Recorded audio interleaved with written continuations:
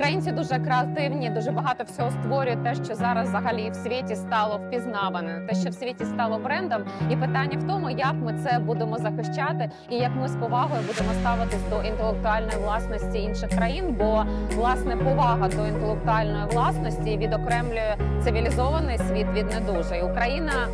Важко і довго йшла цією дорогою, але як свідчить останній звіт Єврокомісії, 90%, 98 навіть відсотків вимог для вступу в Євросоюз виконано, і слід дослідити, а де ті 2%, у яких Україна ще може посилитись.